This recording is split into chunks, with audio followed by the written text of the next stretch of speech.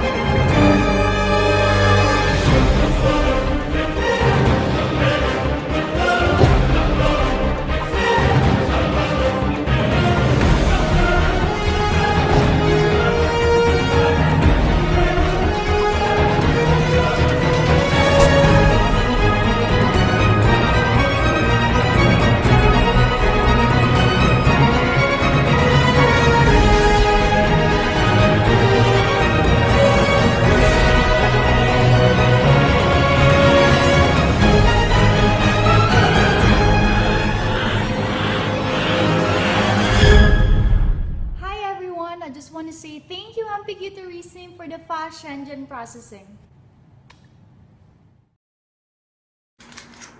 It's coffee time! Pampagising guys, grabe. So now, I am actually reading some of the comments from my YouTube channel. Kaya, I would like to say hello kay Jassy Santos. Sabi niya, thank you to sa reply. And, marami po akong viewers where they're actually asking for help kung paano ko sila matutulungan makahanap ng trabaho dito. And that's actually the problem. No, problem is because I don't know how kasi um, kasi guys kung from Philippines po kayo hindi naman tayo magkamag-anak so I cannot bring you here. Di ba? Sabi ko kung may kamag-anak kayo dito and you can come here and visit as tourist and try your luck, po pwede.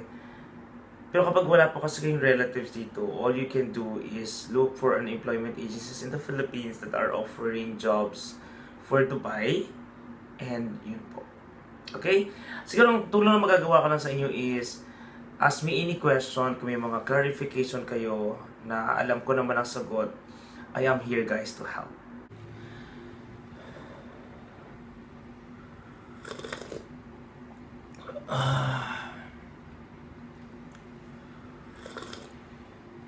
Okay.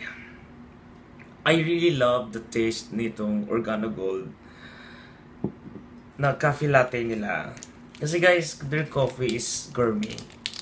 So, again, no, I keep on saying this to everyone that if you wanted guys to change something new sa buhay mo, start with changing your coffee brand. Kasi, uh, Organo Gold Coffee kasi is gourmet.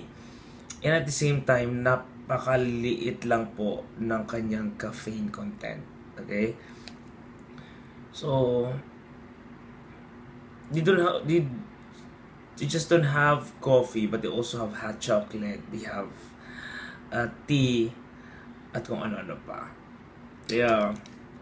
Thank you, Organo Gold. Okay, so here are some of the comments. Sabi naman ni uh, Buhay sa America, sabi niya, mm, you make me cry kasi you touch my soul. I wish I have friend like you. She's actually watching yung video ko na masarap maging vlogger. Um, uh, and uh, sabi niya again in one of my video, your God sent to me kasi I've been here in USA for almost 30 years. At hindi pa ako nakakakita ng gaya sa'yo. Sad to say, but now you're here. Sana before there are people like you. Smiles. Smile, thanks for cheering me up. And sabi naman ni Rod Florentino, Hi Kuya Juni, we're from UK and on holiday here in Dubai? What? Hope we could meet you tomorrow. Many thanks, Rod. Naku, okay sana lang. Sana magkita tayo. And also, hello to Christian Comia. Sabi niya, ah, Kuya Juni, kailangan ba ng bird? Bird dyan sa Dubai? And sabi niya, wow, sabi niya, 700 Club Isa. I think he's watching my my video interview with kay Brother Peter ng 700 Club Isa. Actually guys, to be honest, for me, na ma-interview ang president ng CBN Asia, I consider that as a blessings. Kasi I am not a journalist. I am just a vlogger. So I, I do daily vlog. But then, ako yung nag-interview. So, God is good. Alam nyo guys, I really believe that prayer can really move mountain. Ba? Kasi katulad ditong si Christian, sabi niya, na-amaze that I am actually interviewing the president of the Christian Broadcasting Network, si Brother Peter. He's very known as the host po ng 700, ng the 700 Club Asia. So, sobrang sikat na tao. Super kilala na media personality. And here I am, uh, buhay sa Dubai Vlogger. Ini-interview siya. Kaya ako nung, nung I'm actually doing na yung recording and interviewing him, I feel na parang God is with me. Na okay, this is my gift for you, Julie. Then sabi ko na lang, thank you so much. Kasi it was, that was really a gift, okay? Thanks God. Nothing is really impossible with you.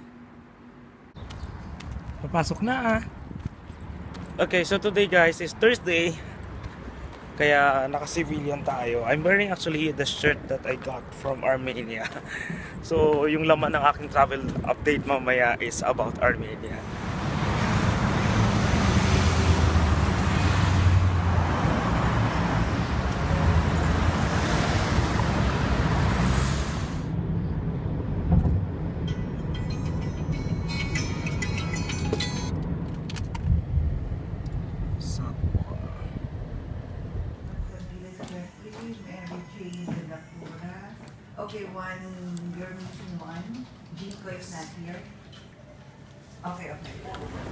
Duran, ano yung mga anak, Thank you! ang paborito mong saging. Mother, Ang liit naman nito. ulit naman ang sa akin. May nakain ako ano, paminta. Mother, favorite ko man to. Mm. Grabing, ang init na. Simula na talaga ng summer dito sa Dubai. Kailangan na ng payong. Okay. Daily, ano to, inspirational, madam. Hindi ka isa, ma'am. Minsan may ano yan, may anointed yung bagay na yan. Oo. May inspired ka. Good Okay. guys. Titignan Sige, mo. basa-basahin mo. Yan. The Lord's timing is always perfect. Oo. Kaya, yun. Ikaw. God has a better plan for you, madam. Galing sa ano? Yes, Filipino are salary, one kalas. yes. Filipino sell very quickly. Okay, si si Kuya is trying to tell us po that Yeah. yun nga yung tawag nito yung bad traits of Filipinos dito sa abroad. That they, we we spend money on luxury life, restaurant and taxis, Shopping. shopping and everything, How gadget. many years are you in Dubai Ayun. now? So, di ba parang isang eye-opener na talagang ibang lahi na na mismo nagsasabi. 40 years We have Dubai. to change. One, two, three. One, two, three. I love Money Piaca on the Baudo Tarti and uh, Marcos Marciano.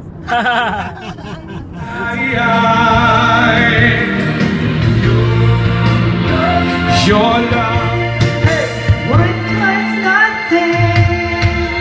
It's a Chicago girl, and it starts with one hello. is a mauka. Oh my god, Dane and Ate Mai, I'm so sorry for this song again. Let Me Love You by just ano? Let me love you. Let me love you. Like that, right? No, my bra strap is loose already. I have to cover my uh, boobs. My left boobs, huh? Oh, you see my strap here? Okay. So guys, kasama namin si Kuya Tom. Kasama, kasama namin ngayong araw na to ang may-ari ng Indulgence Beauty Salon na madalas ko pong Inaaway. pinopost sa aking mga Facebook videos. Ayan, teka lang, hindi ko abot. So guys, meron silang gagawin na special event para sa mga kababayan natin na madalas pumunta sa mga salon. So why not make it like parang a gathering no sa mga kababayan natin na nandito.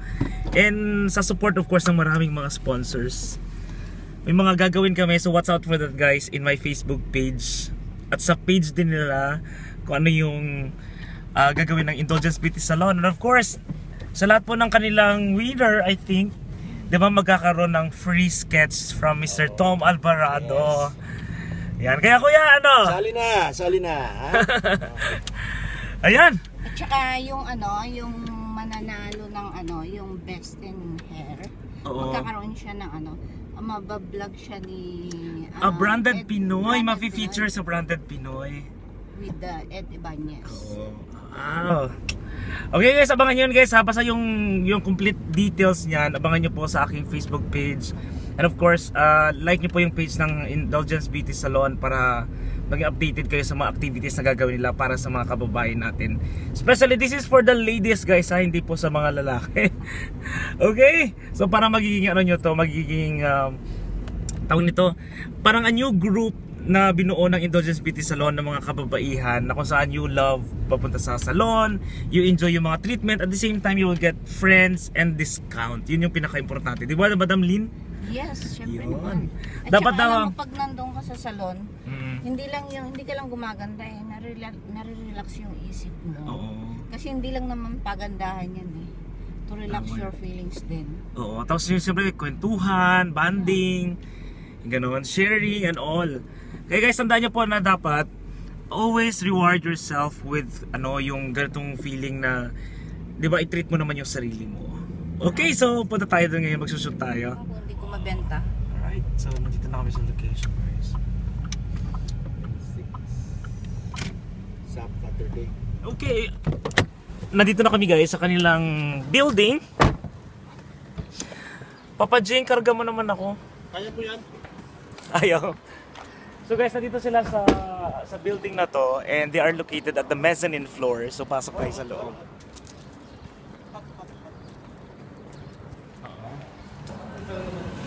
Okay, so these are their services. So meron silang skincare up to body massage and threading. So papasok tayo sa loob. Makikita nyo kung gaano kalaki yung kanilang salon. Okay, so let's go guys. They are located dito lang sa mezzanine floor. And then, kakaliwa ka dito. And this is Indulgence Beauty Salon. Ayan. So, papasok tayo dito. Oh! Ipipicture natin ang kanilang, gla- ang kanilang wall. Talagang ano siya, no? This is actually yung trademark ni Mr. Tom Alvarado. Alright, ready na pala talaga ang ang special packages para sa sa kanilang ano sa kanilang mga bisita. Ganun talaga ang ilaw nagbi-blink. Ano yun? Yung uh, kundi? So meron sila dito ang foot spa. Ito, ang laki ng kanilang foot spa na. And ayun, pati yung mga wallpaper na bago na rin pala dito. Wow. Okay guys, ito yung hindi po alam dito ng karamihan about Indulgence Beauty Salon na ang laki actually ng kanilang place and dito po, wow. So I think this is their massage room. So alam ko po, this is the only Filipino uh, beauty salon na kompleto ang services na ino-offer nila. And tinan mo naman yung facility nila. Wow. 'Di ba parang nasa clinic ka. Kompleto sila sa gamit. Okay, and this is the second room pa lang. Now let's proceed to the third room. Grabe, ang sarap sa mata yung ng kulay ng ano nila, ng ah, walls. Ang galing, ano? You'll be really surprised. And ito yung kanilang sauna bath. Ayan, so medyo dark lang ng konti.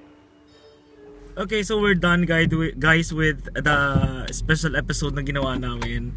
Kaya yon as usual, alam mo komportable yung mga ganong klaseng episode na ginagawa ko kasi nga hindi naman kasi iba sa akin yung mga tao na kasama ko sa, sa ano, parang nagkukwentuhan lang talaga kami. Ay, ano na ang temperature ngayon? Ang init na sa Dubai. Temperature ngayon is 40, may 40 na. 39 degrees. 39 degrees. So summer na summer na talaga. Ang social naman ng temperature nyo. Nasa salamin.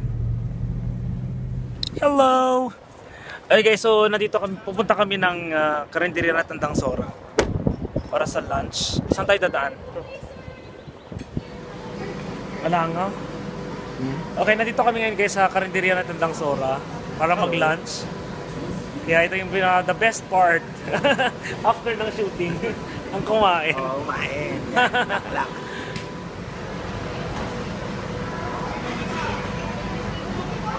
Perfect ang kailang iced tea sa mainit na panahon.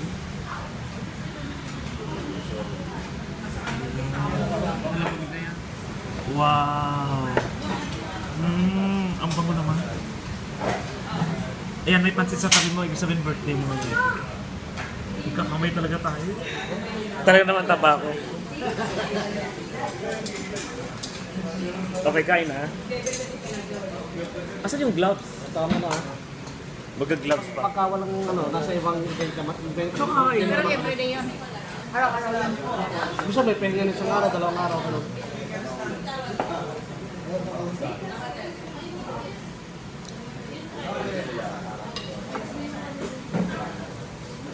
ईपन गगमतमा you like the कस्तो हो